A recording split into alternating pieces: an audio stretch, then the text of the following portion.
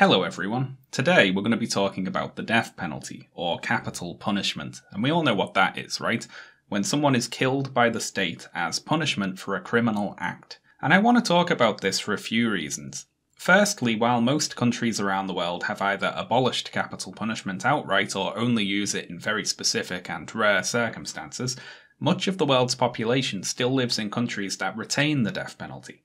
Also, in countries that have abolished the death penalty, it can remain popular, and its reintroduction is often argued for. A 2017 YouGov survey found that more than half of Brexit Leave voters in the UK, for instance, think that the death penalty should be brought back. Another reason I want to talk about the death penalty today is because I've noticed that frequently, when discussing the pros and cons of the death penalty, people tend to have the wrong argument. And for an example of this, we're going to take a look at a typical pro death penalty argument, such as the one offered by Dennis Prager of PragerU in his video, Is the Death Penalty Ever Moral? which I will link below in the video description. In this video, Dennis Prager argues that criminals who do sufficiently horrible things should be put to death, and he uses as an example the 2007 Cheshire, Connecticut home invasion murders, during which two criminals broke into a family's house and murdered three people in a particularly brutal manner. Dennis Prager's argument in favour of executing these men is an emotional argument, and he appeals directly to the feelings of his audience, talking about things like a sense of justice, the pain inflicted on the loved ones of those murdered,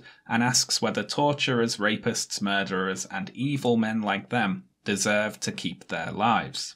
And this sort of appeal to emotion is the main thrust of many pro death penalty arguments. Now, whether someone can forfeit the right to life with a sufficiently horrible action or series of actions is a moral question, it's a philosophical question, and it's not a question that I'm going to be answering today.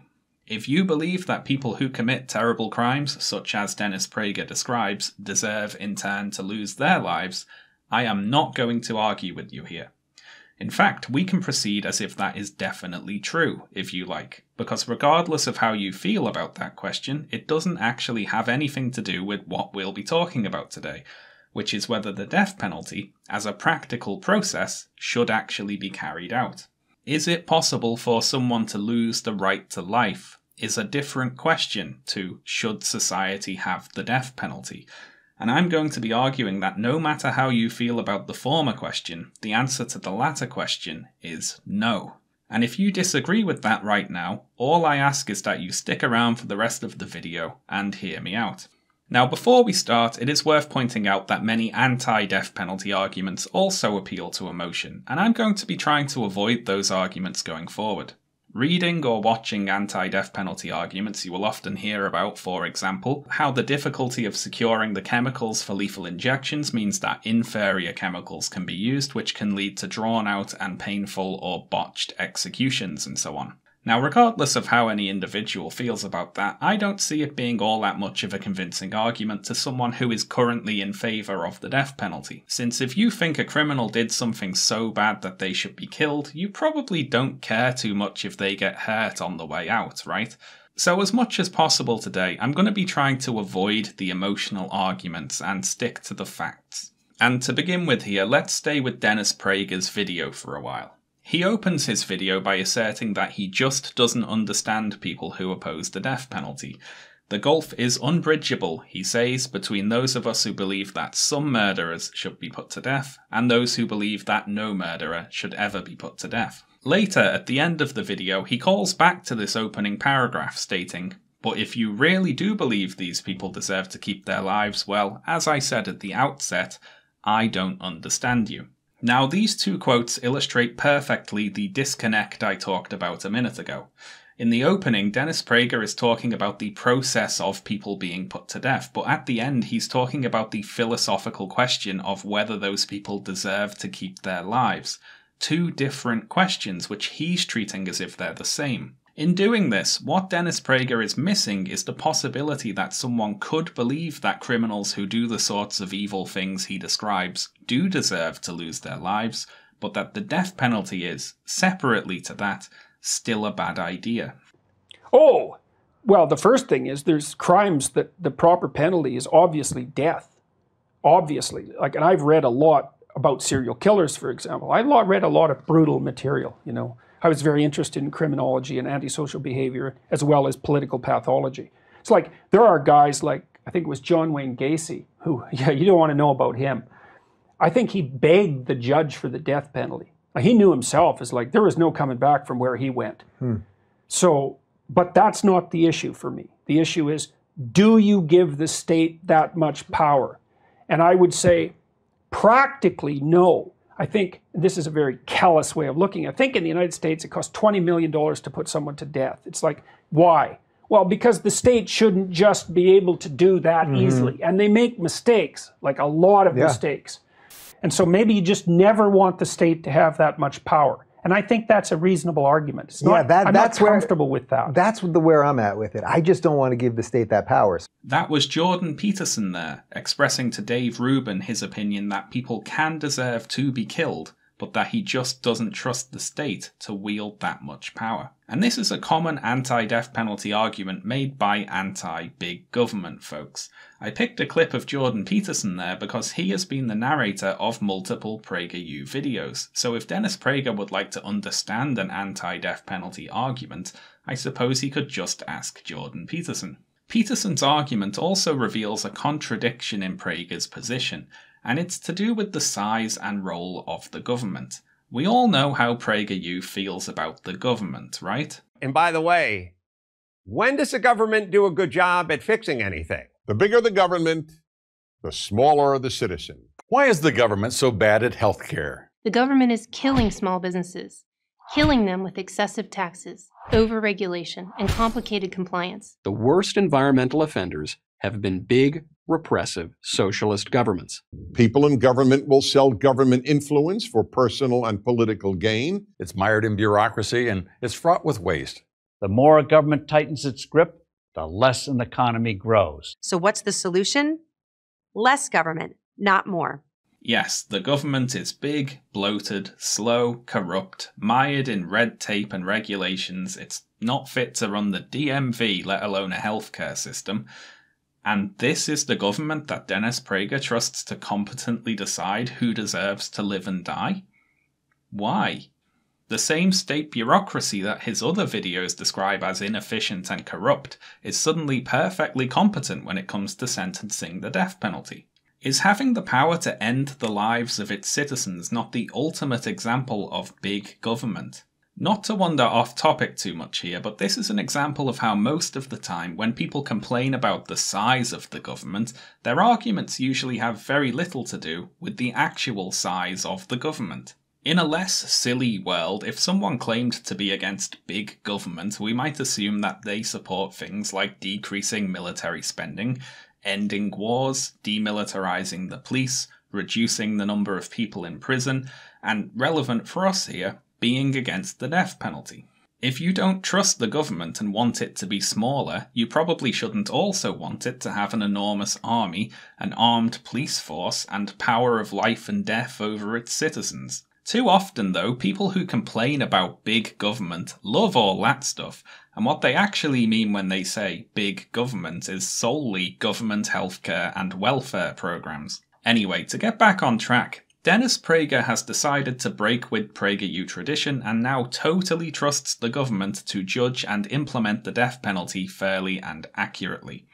He says the number of innocent people who might be wrongly executed is infinitesimally small thanks to DNA testing and other advanced forensic tools, which make executing an innocent person virtually impossible. The chance of executing an innocent person is, of course, one of the most common and strongest arguments against the death penalty. Because, obviously, if it comes to light that someone was wrongfully imprisoned, they can be let out of prison. But if it comes to light that someone was wrongfully executed, that's it, they're dead.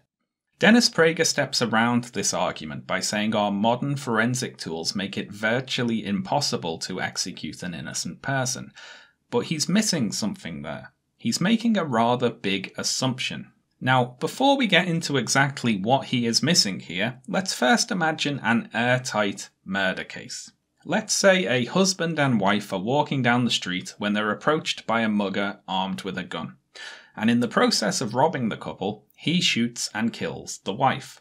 The police are called, and based upon the description of the criminal given to the police by the husband, they pick up a suspect near the scene of the crime. When they bring the suspect to the husband, he says, Yes, that's him. He's the person who shot my wife. The police then arrest the suspect, and when they later question him, he admits to the crime and signs a written confession saying, Yes, I did it. I'm the person who shot that woman. So, case closed, right? We have a positive identification of the murderer from a witness who was a foot away when the crime was committed, and a signed written confession from the murderer saying that they did it. Few cases get more clear cut than that. So, this case was an actual case. The crime happened in May of the year 2000. Two tourists from Georgia, that's the state, not the country, were staying at a Ramada Inn in Jacksonville, Florida. Outside of their hotel, they were approached by a criminal who, in the process of mugging them, shot and killed Mary Ann Stevens. Her husband, James Stevens, identified Brenton Butler, who was picked up nearby by the police as the killer, and Butler confessed to the murder during questioning. However, as I imagine many of you already suspect, there is more to this case than meets the eye. Firstly, the husband of the victim was mistaken in his identification of the criminal. He just got the wrong guy. And this is a thing that happens. Witnesses make mistakes, particularly witnesses who were just involved in a very traumatic experience. Uh, but why, you might wonder, did the wrong guy confess to the crime? Well, during the trial, Brenton Butler alleged that the police physically abused him into confessing. They allegedly, again, my lawyers reminding me to say, physically intimidated him and hit him several times until he confessed to the crime. This is all the subject of a very interesting documentary called Murder on a Sunday Morning, which I would highly recommend if you want to know more about this case. The film follows Butler's defense team, two public defenders called Patrick McGuinness and Anne Finnell, as they put together the case for Butler's innocence. And they really tear the police apart in the courtroom and expose their awful and incompetent investigation, which is very satisfying to watch. The police, for example, didn't even search Brenton Butler's house looking for the items he supposedly stole or interview his family members with regards to his whereabouts at the time of the crime. You know you didn't have a gun. You knew you didn't have a purse. You knew you didn't have any money.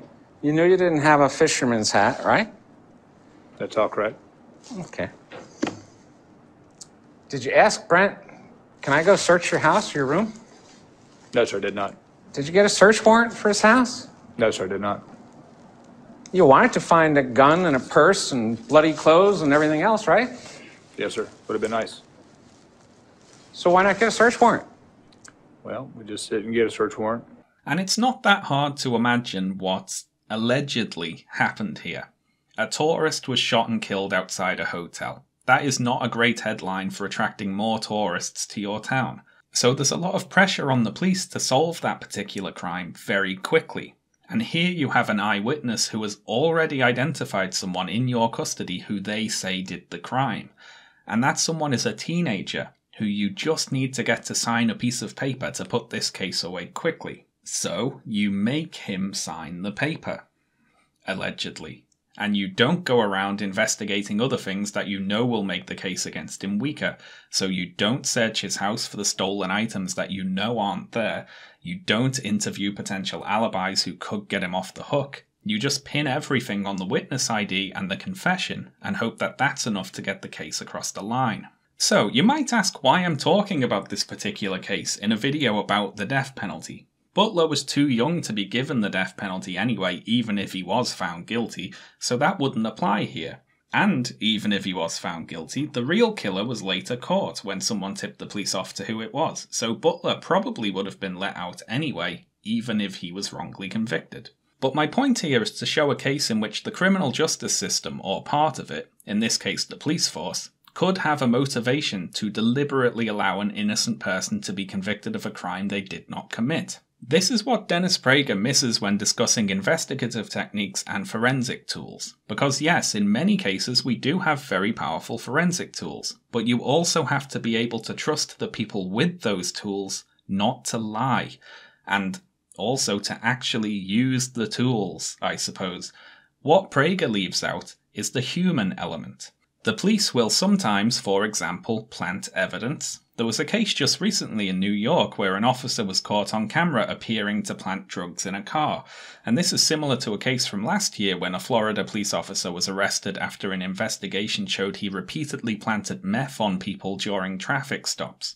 Police will sometimes take bribes from criminals. They will lie in court, cover up for the crimes of other officers, beat confessions out of innocent people, and so on. Even if all cops are bastards is a little too absolutist for you, you have to admit that sometimes some cops are bastards, and some judges are bastards, and some lawyers, a lot of lawyers, are bastards, or incompetent, or lazy, or corrupt or just apathetic. The accuracy of a particular investigative technique or forensic method is only one part of the calculation we have to do when determining odds of someone being innocent. We also have to trust the justice system not to lie or cheat or just have made a mistake. You can say DNA analysis of a piece of evidence is almost perfectly accurate, but it cannot tell you whether or not that piece of evidence was planted at the scene of a crime. Now, I'm not saying that's necessarily going to be a very common occurrence, don't get me wrong, but it is a possibility. We have an imperfect justice system run by imperfect people. No one type of evidence is ever going to be flawless, even video evidence. Dennis Prager in his video says opponents of capital punishment oppose the death penalty even when there is absolute proof of the murderer's guilt. If there were a video of a man burning a family alive, opponents of capital punishment would still oppose taking that man's life. Now, the implication there is that a video would be absolute proof of guilt. But is it really? This is a statement that's going to be less and less true over time, and that's simply because technological advances mean that video is getting easier and easier to fake. It is getting harder to spot videos that are authentic and videos that were created in a computer. Many of you will remember this video from a few years ago of a fake Barack Obama that was created in a computer using an AI video tool. Now, the more observant folks in the audience might still be able to tell this is fake. You can see something seems a little off about it, right? However, it is already eerily similar to the real thing, is it not? And before long, it's going to be very difficult indeed to tell the difference between authentic videos and fake videos like this one. And if you were led by my prompting there to believe that this is a fake video of Barack Obama, then we are already at that moment, because this is not a fake video of Barack Obama. This is a real video of Barack Obama. I just put a real video under the headline describing the fake one. Anyway, me being a smart smartass aside, while faked videos aren't a huge problem for the legal system right now, as the technology gets both more advanced and easier to use, it very well could be a problem in the future. And even with a non fake video, we can still imagine perfectly possible scenarios in which executing a man based on video evidence of him committing a crime would be a bad idea. What if the man had off screen accomplices in his crime? If you kill him, you've got less of a chance of finding them, right? What if the person doing the crime was someone who was coerced or forced into it by some other person? What if someone threatened to murder his family unless he did the horrible thing on their behalf? Again, as with a bribed judge or planted evidence, I'm not saying that these things would be happening every day, just that it is a possibility. And no matter how unlikely, if you execute enough people, you will eventually kill an innocent person. So the pro death penalty argument has to be that killing the occasional innocent person is an acceptable risk, because that risk is outweighed by the positives that come from having the death penalty. So, what are the positives to having the death penalty? One you will often see proposed is cost. Why should the taxpayer pay to feed and clothe some horrible murderer who might live for another however many decades, right? It would be better and cheaper to just kill them outright. Well, in practice, this isn't actually true. In the United States, for instance, it is vastly more expensive to execute people than to imprison them for life. Executing someone is a very complicated and slow legal process. Some inmates spend more than 20 years on death row before being executed. It's so slow because there are various stages of review and appeal before the death penalty can actually be carried out. Now, the obvious counter argument to this is to say, well, what if we just sped that process up a little? If we just executed people right after they were found guilty, that massive expense would not exist, right? And execution would be the cheaper option. And the counter argument to this counter argument is that the slow appeal and review process exists for a very good reason. If you thought my proposed scenarios a minute ago as to how an innocent person could end up being executed sounded like ridiculous million to one shots, then what you need is a real life example. So let's talk about the rather infamous case of Timothy Evans, something I imagine some of you will know about already. So, Timothy Evans was a Welshman who lived in London in 1949 with his wife and child. And in November of 1949, he went to the police and informed them that his wife, Beryl Evans, had died. And the story he told police was that his wife was pregnant, but since the couple thought they could not support another child, they had taken up the proposal of their downstairs neighbour, John Christie, who had offered to perform an abortion. Christie apparently botched the abortion and accidentally killed Beryl Evans. Christie then persuaded Timothy Evans to go and stay with relatives in Wales while he disposed of Beryl Evans' body and made arrangements for a couple to look after their daughter. So, Timothy Evans went to Wales, only to a few weeks later decide to go to the police and tell them what had happened. Only, when he first told the story to the police, he left Christie out of it, saying that he himself had been the one to dispose of his wife's body and the one who arranged for his daughter to be looked after. In response to this account, the police searched the place where Evans said he had disposed of the body, which was in a sewer drain, only to find there was no body there and that lifting the drain cover would have been physically impossible for a single man.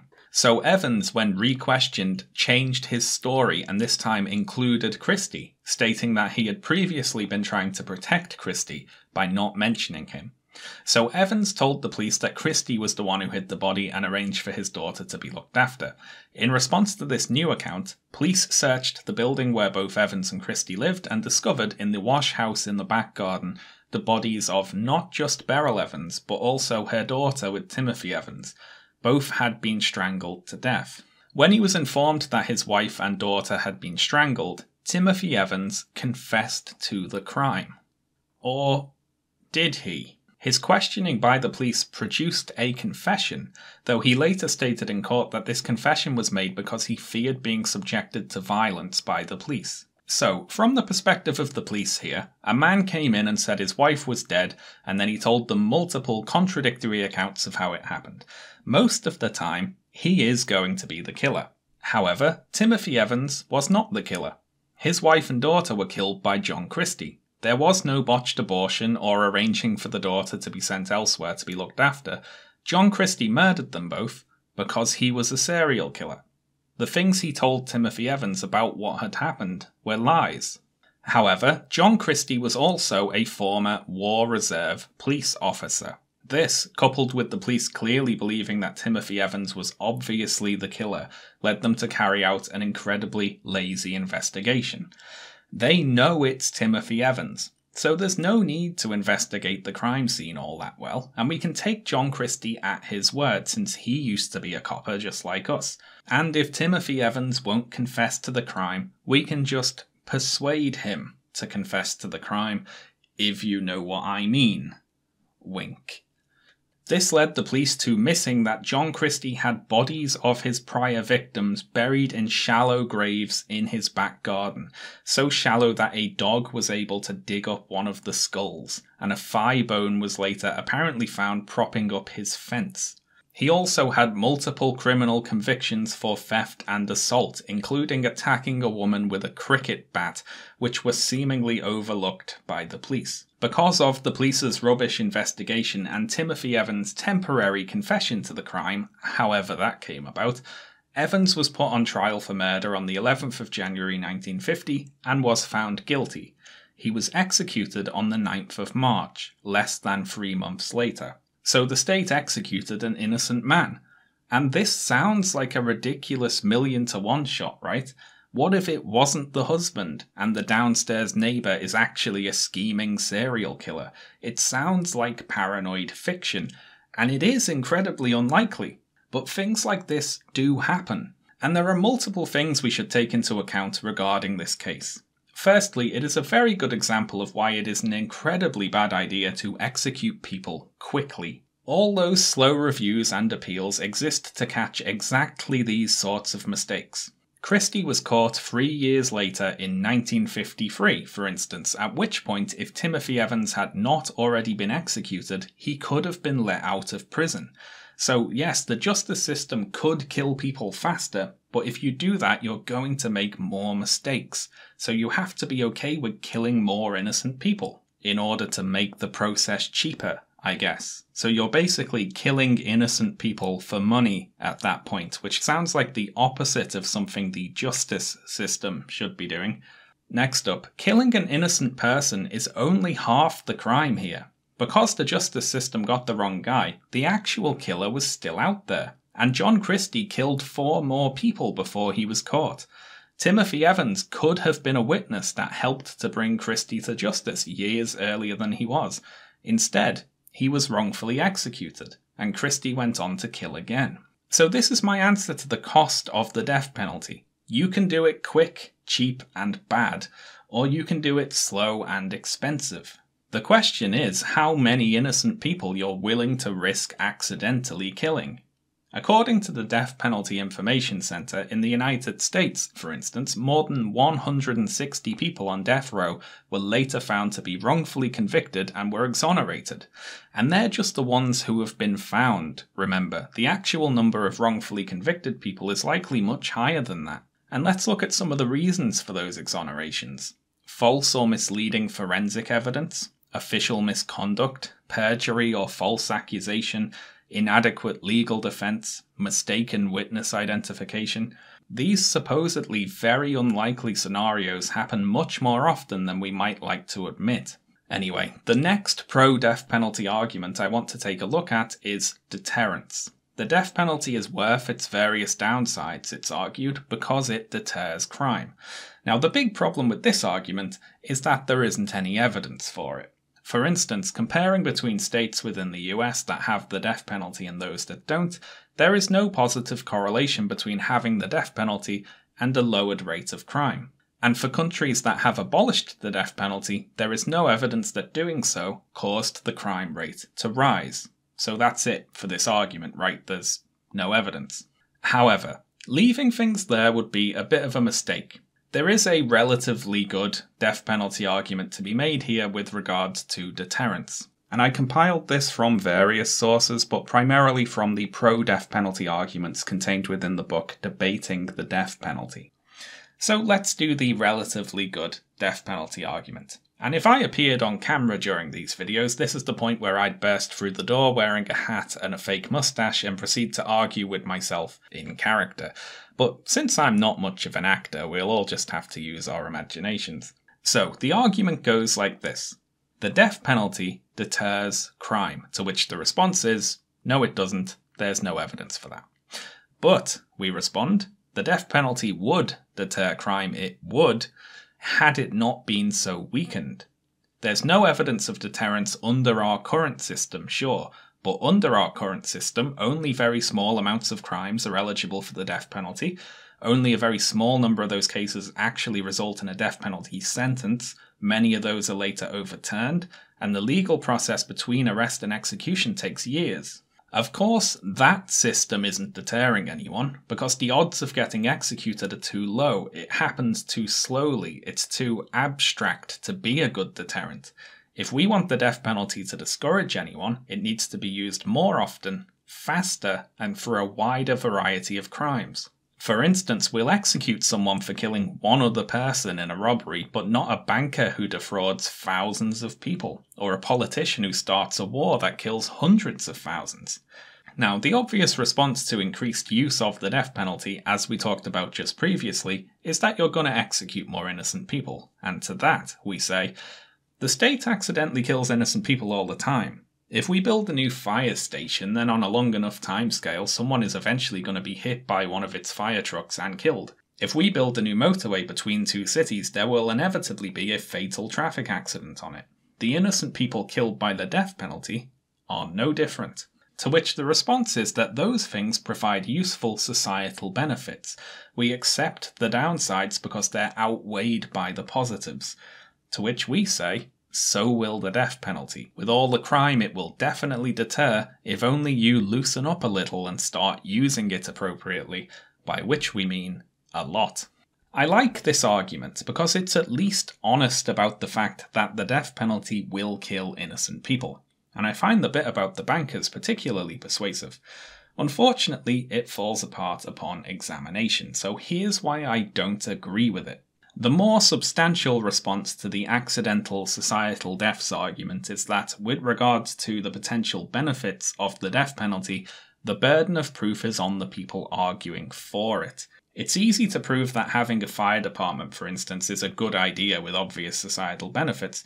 If we want the death penalty to be seen in the same way, it's on us to prove it. With something so final as the state killing a person, you can't just say it might have benefits without the evidence to back that up. And faced with a lack of evidence, we may as well take the course of action that is later reversible, rather than the one that is permanent. We can let innocent people out of prison, but we can't raise the dead. Additionally, another big problem with the deterrence argument is that it assumes a lucid murderer. The sort of calculating criminals you see killing for personal profit in shows like Columbo and so on. In reality, though, not many would be killers are sitting in front of a spreadsheet working out the odds of getting caught and the punishment they're likely to face versus the benefits of doing a murder. Hitmen, maybe, but they're not actually all that common. Most murders are unplanned and carried out impulsively without thought for the future. And for many of the worst criminals, say mass killers, serial killers, and the likes, they either fully expect to be killed by the police or themselves, or they think they'll never be caught, or they don't care about being caught. No legal punishment is going to deter those people. If we do assume a lucid, calculating criminal, though, the sort of criminal who would think, well, I don't mind doing life in prison, but I really don't want the death penalty, then we run into a contradiction when we propose expanding the death penalty to crimes other than murder. And it's a rather dangerous contradiction. You see, the problem is if we make the penalty for robbery, say, the same as for murder, then our calculating criminal who just robbed someone will think, well, since the punishment is the same either way, I may as well just murder them now, because I have less chance of getting caught if the witness can't identify me on account of being dead. Expanding the death penalty to other crimes will turn a lot of those crimes into murders, assuming our calculating criminals exist anyway. Hardly anyone thinks like this, of course, but the fact that hardly anyone thinks like this is why the deterrence argument doesn't really work. Most murderers aren't thinking logically about the future, because most murderers aren't thinking logically. If they were, they probably wouldn't be murdering someone. There is also a problem with the idea of expanding the death penalty to financial and corporate crimes, as nice as that might sound. And the problem is wealth inequality. Money can buy better legal representation. You can say this or that crime should have the death penalty, but it's still the poor who are going to be the ones receiving the majority of the death penalties. Remedying that problem would take doing away with economic inequality, which, funnily enough, would definitely do a lot more to lower the crime rate than any possible punishment would do. More equal societies have a lower crime rate, after all. Anyway, to loop back to Dennis Prager here, he doesn't make the cost argument in his video, nor does he make the deterrence argument, and that is a smart decision on his part. Both of those arguments are easily countered with evidence, after all. The death penalty is very expensive, and there is no evidence of it deterring crime. These are things that you can show with, like, statistics.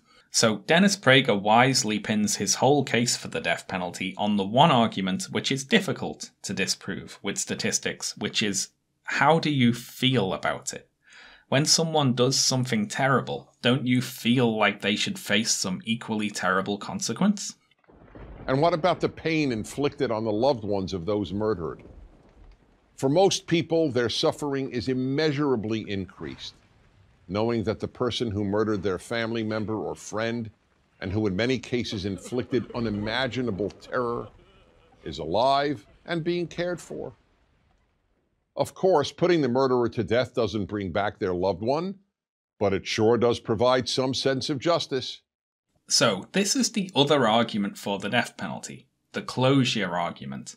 The death penalty provides the victim's loved ones with a sense of justice or closure or healing or so on. But is this actually true? Now, you can't speak for every victim's family and friends, of course. Different people are going to react differently. Dennis Prager uses the example of one man who wants the death penalty for the men who killed his family members, for instance. On the other hand, it is trivial to find examples of murder victims' families who oppose the death penalty. For instance, the organization Murder Victims' Families for Human Rights, who, well, you know, you get it from the title, I imagine, they're family members of murder victims who oppose the death penalty. And that organization's website says having all suffered a tragic loss, Murder Victims' Families for Human Rights members have come in different ways and times to the understanding that the death penalty does not help us heal and is not the way to pursue justice for victims. The death penalty, as a sentence, does not provide closure. It's not carried out for a very long time, for a start. Someone sentenced today might not be killed until 2040. That's decades of them being alive and cared for, as Dennis Prager put it. And rather than providing a sense of finality, it is easier to imagine a death penalty sentence giving a sense of uncertainty, because it isn't a certain thing that the murderer will be executed. Many sentences are later changed to life imprisonment, after all.